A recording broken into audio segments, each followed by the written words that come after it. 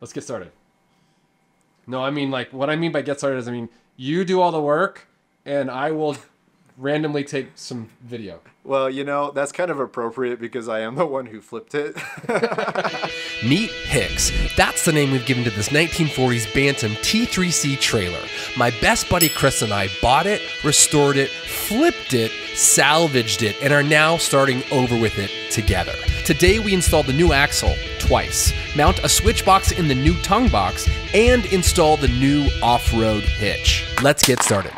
Today we're going to be uh, replacing the axle that has been kind of towed in from the flip. And how we're gonna do it? We're going to undo some bolts, take the old one off, and then put the new one on. So super complicated. Super complicated. So we went to work taking the old damaged axles off, which is not complicated, especially at this point, where we've done everything on this trailer at least twice. We used jack stands to keep everything upright as we pulled off the tires so we could access the U-bolts that hold the axle to the leaf springs. I feel like you're not really working on your rig unless you gotta have a pair of pants on that show a little bit of butt crack. So I feel like at this moment I have begun working on the rig for sure.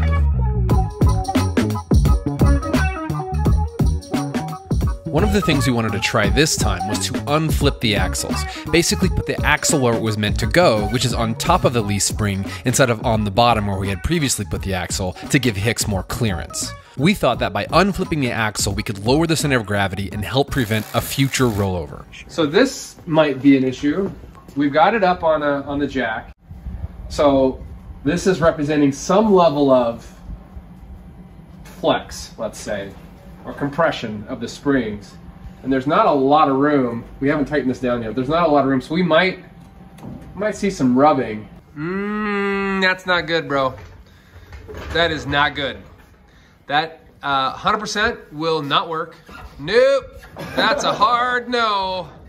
Why? What's wrong with that?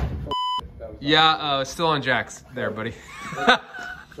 so, uh, so this is not going to work. Uh, the, the tires are way too close to the fenders. They're going to rub, and so we're going to um, lift it back up. We're going to flip the axle back on the underside of the springs, reattach the tires, and go with it.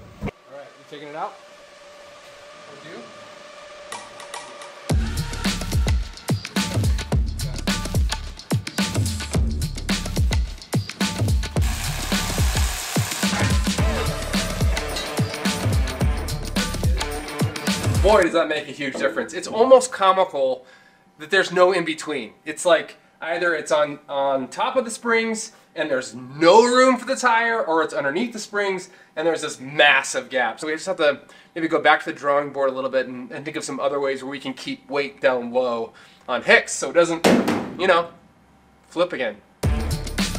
The center of gravity we'd still have to figure out, but for now, this new axle is looking good. So we're actually working ahead a little bit, which is great. So we think with our extra time, we are going to take this thing and put a switch box right back here. And let me show you this switch box. This is maybe my favorite switch box of all time because the switches are like so satisfying. They're like big, like rubber, so they're like we've got waterproofing and dust proofing.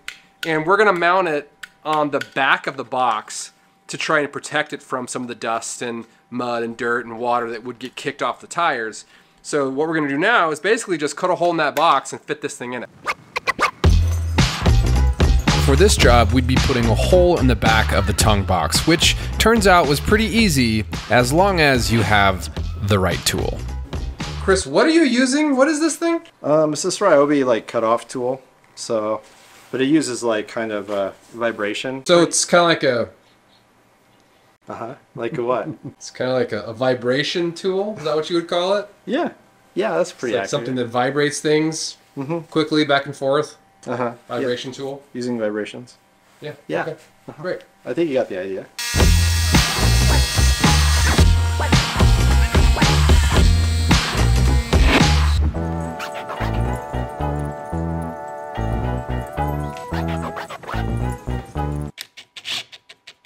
So in this cover panel, just clips on. There's just four clips here, so we're gonna put it on right there and just put it on. There it is. Oh yeah, baby. Switches galore. Kind of having the the plastic or the poly Um, I think that you know with rock chips and stuff getting kicked up, it's just not going to get dented and scraped up and get all rusty like a metal one will. So I think it's going to be just kind of for our purposes a lot better. Plus, it's nice because it's also made in the U.S. Hey! Hey, yeah. Look, the one thing. With the axle and the switch box looking good, it was time to tackle the hitch install. We're about to go try to put this new hitch on Hicks. It's a little more complicated than we thought it was going to be, like everything is. And so we need someone with a welder. And so we thought about all of our friends, and everybody knows we know who has welders. And there's one person in this world we know who has at least three different kinds of welders, and four lawnmowers, and two four wheelers, and at least one backhoe. And that person is my dad. So we're gonna go see my dad and see if he can help us weld this new hitch onto Hicks.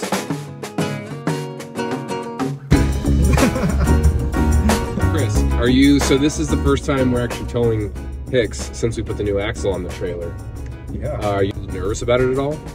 Yeah, I mean, are you asking if I'm nervous? If, am I gonna flip it? Mhm, like, ooh, between you're- here and your dad's house? We're gonna t- go around this corner here. Are you nervous? It's, ooh, ooh, do not, not too, not, nope.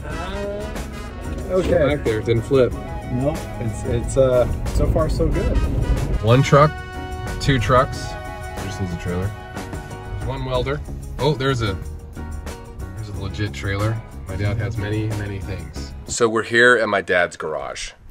And I don't know if you can see everything behind me, but this guy uh, has all kinds of welders, metal parts. He's got a, a pintle hitch down there he picked up at an auction, a couple chainsaws, a tool a tool collection back here, another tool case. He's got a grinder over there for sharpening tools, 60 gallon air compressor. This is the guy to go to if you need a tool or if you need to like do something to anything. So lucky me.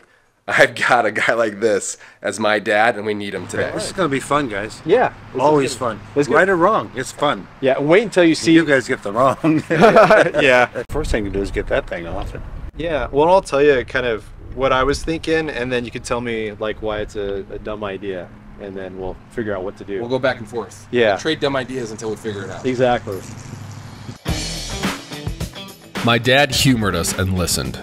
We went inside to brainstorm an approach to mounting the hitch. The basic problem is the mounting holes on the hitch are too narrow to be bolted onto the trailer neck. Our plan was to weld a smaller metal tube inside the existing one, then weld a mounting plate on top of that to attach the hitch. If this sounds complicated, it's because it kind of is.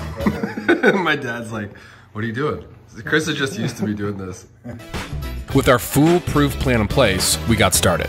First, we stripped off the old hitch to see how we could get the smaller square tube inside and attach it. It fit inside decently well, but we had to figure out how to stabilize it so it was centered and tight. So we decided to weld washers as spacers all the way around. We get two more here and two more back here mm-hmm. to eliminate the slop. But even that, even that far off, even if you, if you did it that far, mm-hmm. it's still gonna trail. Yeah, still But- track just You fine. want it right, right? Sure. Yeah. want it perfect. I mean, look at this thing. It's Perfect. It's Look- totally precision. Look Not at a- all of these not a precision dent, details. Not a, not a. We grabbed the metal tubing, grabbed the washers, and my dad cranked up his arc stick welder and started melting metal. So here's my dad uh, getting ready to weld, and here's Chris uh, drinking whiskey. yeah, I'm, I'm supervising. It's because we don't know what the hell to do. My dad made quick work of welding the four washers to the tube, and we took it back inside to see if it would fit. With the washers attached to the sides, it was a much tighter fit, and with a little encouragement, it was centered as well. With step one done, we decided to weld the two tubes together, and my dad welded those things pretty heavily. Everything was ground down to keep it from looking too gnarly, and we were ready to attach the mounting plate. My dad just laid down a ton of, of metal around here, around the, around the top, and on the bottom too. So this is like so solid. We're gonna put some bolts in here, some grade eight bolts as well, just to, to secure this piece. And then the plan is to weld this on top, which is a mounting plate that uh, where the holes line up for our hitch. However, here's here's what's weird. This hitch is designed apparently to go over this size metal, but there's not enough room for the nuts. And so what we're doing now is we're cutting some metal that we're gonna run basically, let's do it with this, underneath here. So kind of like we're kind of fabbing up a bit of a U-bolt, but it'll be something that has more tension on the metal because it'll be flat pieces running across the bottom. We were now drilling through both tubes in order to put grade 8 bolts through them in an effort to add extra stability to this newly formed tongue. We've reinforced the tongue, extended it, welded on this mounting plate, and installed this new hitch, which should give Hicks a lot better off-road performance. Then what we did is we took this mounting plate and we welded this mounting plate on. Um, it's, it's more of a tack weld, uh, but that's all it really needs to be because this plate is held together with these grade 8 bolts coming down here and then we, we custom cut um, these these plates that kind of serve as like a, a really strong U-bolt except for it's flat so it has more more pressure across that surface area. And then we just cranked it down and that's what's holding the hitch on. With all of this together this is exponentially 10 times stronger. It's gotta be than the ball hitch that we had on before that was like aluminum and just kind of had a couple bolts holding it on. So we put in this, uh, we put in a, a metal tube inside of a metal tube and it's been welded and then it's got two grade 8 bolts drilled through both and, and basically that's what's reinforcing it on the front and bottom and we all feel very very confident with the amount of welding and bolts and everything that's on this that this is going to be as strong if not stronger because it's got more steel in it than it was before. The last thing we did was attach it to Ripley for the drive home, and it fit perfectly. This is going to be an awesome trailer. Join us on the next episode where we install the tongue box, the MOLLE panels, and run the electrical wiring. See you then.